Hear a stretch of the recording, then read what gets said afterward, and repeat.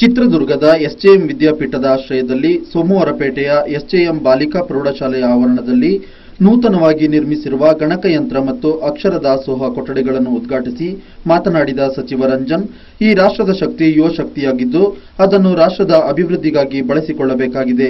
ಯುವಕರನ್ನು ಪ್ರೇರೇಪಿಸುವ ಹಾಗೂ ರಾಷ್ಟ್ರಭಕ್ತಿ ಮೂಡಿಸುವಂತಹ ಯುವ ನೀತಿಯನ್ನು ಜಾರಿಗೊಳಿಸಲಾಗುತ್ತಿದ್ದು, ಯುವ ಜನಾಂಗಕ್ಕೆ ಸ್ಫೂರ್ತಿದಾಯಕರಾಗಿದ್ದ ಸ್ವಾಮಿ ವಿವೇಕಾನಂದರ ನೂರೈವತ್ತನೇ ಜನ್ಮ ದಿನಾಚರಣೆಯನ್ನು ರಾಜ್ಯಾದ್ಯಂತ ಅರ್ಥಪೂರ್ಣವಾಗಿ ಆಚರಿಸಲಾಗಿದೆ. ಇಂದಿನ ಮಕ್ಕಳು ಈ ರಾಷ್ಟ್ರದ ಭವಿಷ್ಯದ ಪ್ರಜೆಗಳು ಅವರಿಗೆ ಪ್ರಾಥಮಿಕ ಹಂತದಲ್ಲಿಯೇ ಉತ್ತಮ ಶಿಕ್ಷಣ ನೀಡಬೇಕಿದೆ.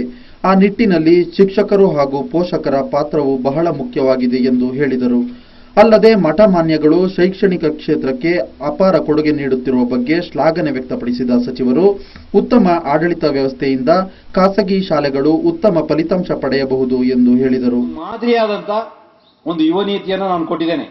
ಪ್ರಥಮ ಬಾರಿ ಕೂಡ ಈ ಯುವ ನೀತಿಯನ್ನ ಚರ್ಚೆ ಮಾಡುವಂಥದ್ದು ಮತ್ತು ಡಿಸ್ಕಸ್ ಮಾಡಕ್ಕೆ ನಾವು ಬೆಂಗಳೂರಿಗೆ ಬರ್ತೇವೆ ಅಂತ ಹೇಳುವಂತ ವಿಚಾರವನ್ನು ಕೂಡ ಹೇಳ್ತಾ ಇದ್ದಾರೆ.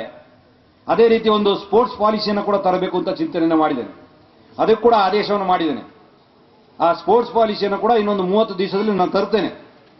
ಅಂತ ಸಂದರ್ಭದಲ್ಲಿ ಯುವಕರಿಗೆ ಹೆಚ್ಚು ಒತ್ತು ಕೊಟ್ಟು ಮುಂದಿನ ಯುವಕರು ಈ ಯುವ ಶಕ್ತಿ ಏನಿದೆ, ಅದು ನಮ್ಮ ರಾಷ್ಟ್ರಕ್ಕೆ ಉಪಯೋಗ ಆಗಬೇಕು, ಯುವ ಶಕ್ತಿಯನ್ನು ರಾಷ್ಟ್ರದ ಶಕ್ತಿಯಾಗಿ ಮಾಡಬೇಕು, ಯುವಕರಿಗೆ ರಾಷ್ಟ್ರಾಭಿಮಾನ, ರಾಷ್ಟ್ರಭಕ್ತಿಯನ್ನು ಮೂಡಿಸಬೇಕು, ಮತ್ತು ಯುವಕರು ಸ್ವಾವಲಂಬಿಗಳಾಗಬೇಕು.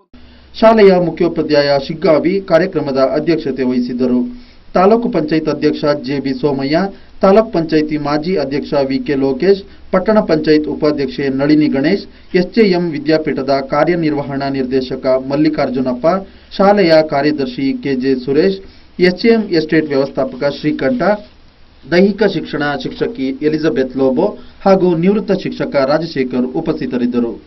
ಸುದ್ದಿ ಸಂಗಮಕ್ಕಾಗಿ ಎಸ್ಆರ್ ವಸಂತ್, ಸೋಮವಾರಪೇಟೆ.